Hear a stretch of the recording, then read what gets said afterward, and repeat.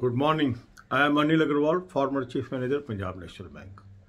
Now, in this video, we will discuss one aspect why NPA is called double edged sword.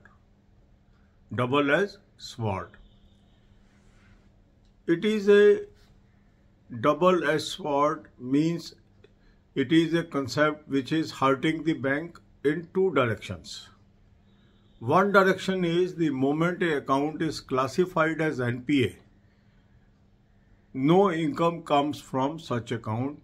Bank stops charging interest on such account. So one loss to the bank is there is no revenue generation from these accounts. So this is one edge. Second edge is on every NPA account, bank have to make a provision. Provision means you have to dis- debit your profit and loss account by a certain sum as per RBI guidelines and keep aside some portion of your profit for future loss. that is called provision. And in detail, I have discussed in various videos on this channel. So that's why it is a two way loss to the bank. One side, bank stops earning the interest. Second, bank have to uh, give provision also. And that's why it is called double-edged sword.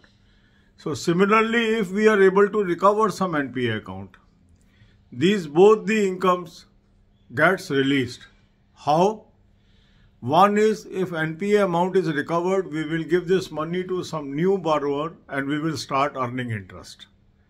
Secondly, the provision that is kept for this account will be released. And that's why the recovery gives income from two sources and NPA stops our income from two ends. And that's why it is called double-edged sword. God bless you all on this channel. There are a lot of videos on banking, finance and economics. Develop habit of watching 10 to 15 videos per day. That will enhance your knowledge in banking. Further, you can cover current affair. I have given you a link. Click the link. You will land up on an app. Download the app and take 2000 uh, current year plan and apply coupon code AA03 to have 10% off. God bless you all.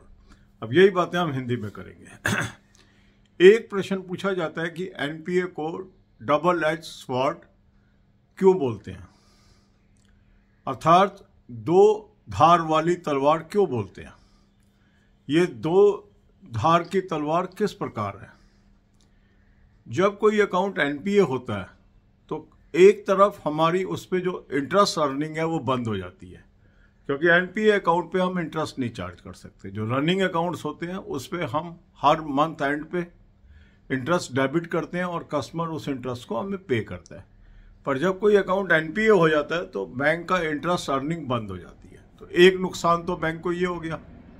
और दूसरा नुकसान ये होता है कि जो NPA account है, उसके ऊपर बैंक को प्रोविज़न देना पड़ता है। प्रोविज़न का मतलब ये है कि अपने प्रॉफिट एंड लॉस अकाउंट से कुछ निर्धारित राशि अलग से रखनी पड़ती है प्रोविज़न में, जो आरबीआई के मानकों के अनुसार होती है। तो बैंक को दो तरह से आमदनी का सोर्स खराब होता है। मतलब एक तरफ़ तो आमदनी नहीं आई और एक तरफ़ खर्चा डल गया। तो इसलिए इसको दुधारी तलवार, दो धारी तलवार या डबल एच स्वाड बोला जाता है। इसका विपरीत कब होता है? जब ये अमाउंट रिकवर होता है। जब एनपीए रिकवर होता है तो फ़ायदा क्या होता है बैंक को? जो पैसा एनपीए अकाउंट से वापस आया, वो नए बारोवर को हम देंगे, वहाँ से ब्याज आना शुरू हो जाएगा। एक आमदनी शुरू हो गई बैंक की। और दूसरा क्या हुआ कि जो प्रोविज़न मैंने रखा था, वो मेरा रिलीज़ हो गया। मुझे वापस मिल गया। अब मैं उसको इनकम में ट्रांसफ़र कर सकता हूँ। तो इस प्रकार एनपीए रिकवरी से डबल इनकम आती है और एनपीए होने से एक तरफ़ इनकम बंद होती है और एक तरफ़ खर्चा डालना पड़ता है। और इसलिए इसको दो धार वाली तलवार बोला जाता है। बैंकिंग फाइनेंस इकोनॉमिक्स की नॉलेज के लिए इस वीडियो पे बहुत सारे वीडियोस हैं। 10 से 15 वीडियो यदि आप रोज़ देखते हैं तो आपकी नॉलेज बहुत बढ़ जाएगी और ये मैंने लिंक आपको प्लेलिस्ट के डिस्क्रिप्शन में दे दिए हैं इस वीडियो के। इसके अलावा करंट अफेयर के लिए मैंने आपको एक अच्छा सोर्स बताया है, उस सोर्स को आप क्लिक करेंगे, एक ऐप पे पहुँचेंगे ऐप को डाउनलोड कर लीजिए और करंट ईयर प्लान ले लें coupon code A A zero three लगाएँगे। दस परसेंट ऑफ़ आ जाएगा। यहाँ आपके पास डेली वीकली मंथली पीडीएफ्स आ जाएँगी और वहाँ से पढ़िए। God bless you all